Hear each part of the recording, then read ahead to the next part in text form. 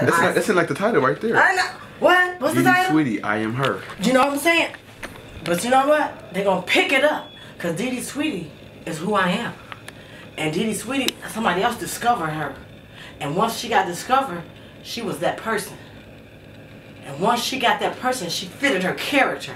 And she made it very, she made her character very well. And if anybody know Dee Sweetie, they got a story to tell about me and about my character. Mm-hmm. Cause I didn't just get Dee Sweetie for just being a person. I got Dee Sweetie because that's who I am. I got morals and values and stuff that nobody ever done. I can jump off the highest mountain. Some people scared to jump off a little thing, you know? Little Hill. Come on now. Okay. Somebody talk to But me. before we get to Dee Sweetie, Okay, right. you know, who was Deidre Pauline Cooper from the beginning? Like, who? Tell me who? Who are you? For those who don't know, who a- Deidre Pauline? I'm um, I'm um, the mother of Roselle Carson, the third sister of the family of seven. Um, I am one of the great ones. I'm the one that made the family stand up and stack them together. I am that one. um, I am a strong black woman. I done had my trials and tribulations. I um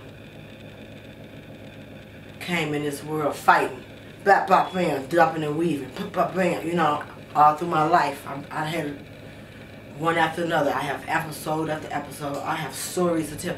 If you ever meet me, you be like, hey, I come around her. She finna tell us something. Because every day she got a story to tell you. But as coming up, I come up with um, seven sisters and brothers. I was a very bad person. I'm not saying a bad, I was a bad sibling. I used to make my sisters and brothers get in the closet, have a, a broom. I dare you to come out. I'm gonna whack one of y'all. You know, I didn't. I don't. That's not me. That was who that little person was. Crying. Stop it. um.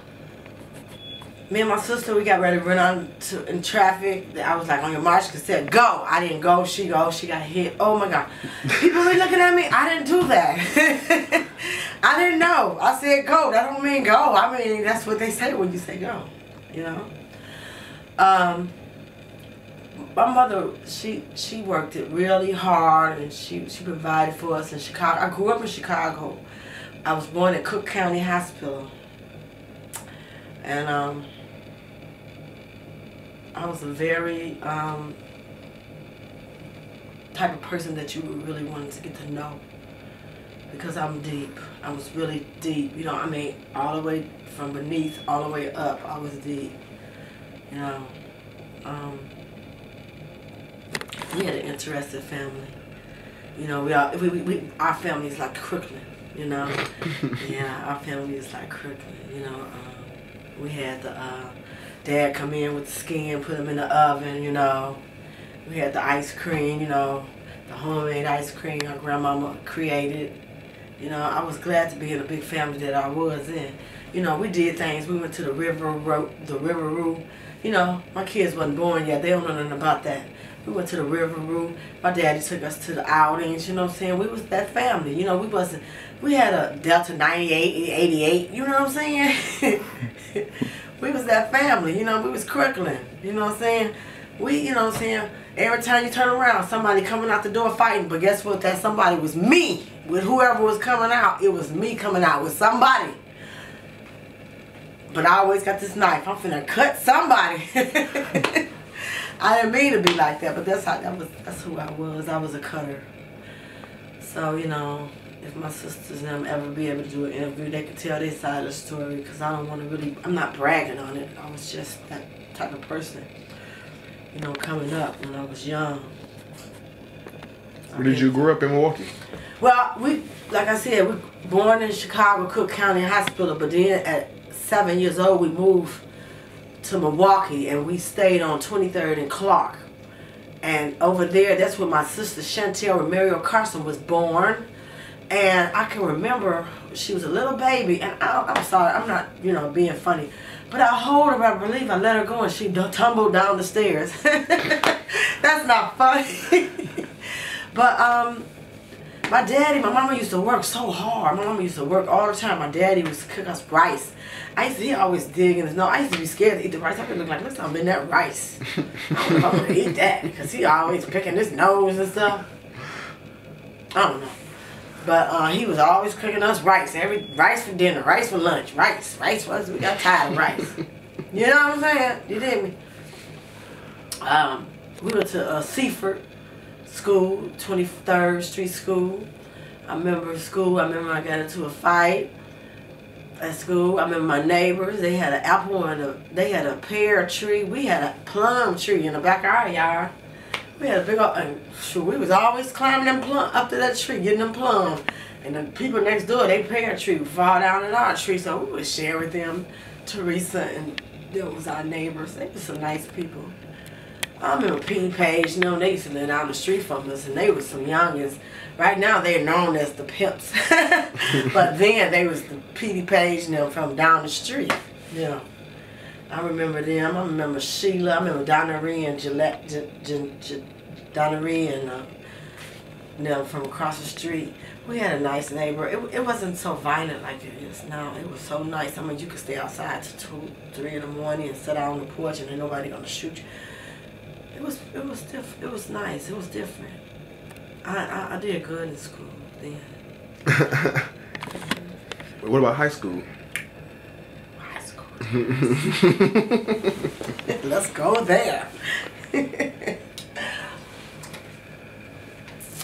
um, when I was in high school, well, which high school do you want to know? Because I went to Parkman King, North Hamilton, Webster, and Rufus King.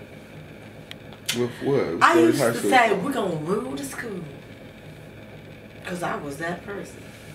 I just, I just took, I, you know, all my life I grew up with this, I'm bad personality. Because I got sis, I got some uncle aunties, and they, they, they Carsons. I'm supposed to be Carson. My family supposed to be Carsons. I just got the last name wrong. But I was supposed to be a Carson. And when I went to school, my kinfolks, they um we went for bad. They was like, we ain't taking no stuff, we ain't taking no mess. We go to the school and we would punk the people and we were like, let me sit on your car. Give me your keys. Go sit over there. You know, go where I told you. Do what I showed you. Type of stuff, you know, because that's how I was. I mean, I didn't mean to be. This is just who I am. I mean, this is this come from the heart and the soul. I was just a badass. And that's just what it was. So I got kicked out of this school for fighting at Parkman Junior High. I kind of told a girl your money, your life, but I was playing. You know, I got a knife out the Cracker Jack machine, you know. And she told the principal, so I got kicked out.